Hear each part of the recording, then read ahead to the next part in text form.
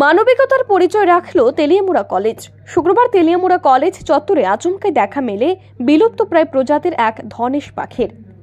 Teliamura college বিল্ডিংয়ের জানালাতে লাগানো জালে ধনেশ পাখিটিকে আটকে থাকতে দেখে কলেজের পড়ুয়ারা।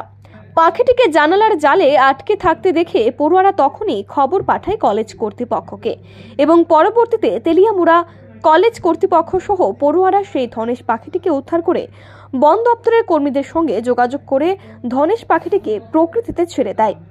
স্বাভাবিকভাবে ধনেশ পাখি উদ্ধারের ঘটনায় অনেকটাই সুনাম কুড়িয়েছে তেলিয়ামুড়া কলেজ।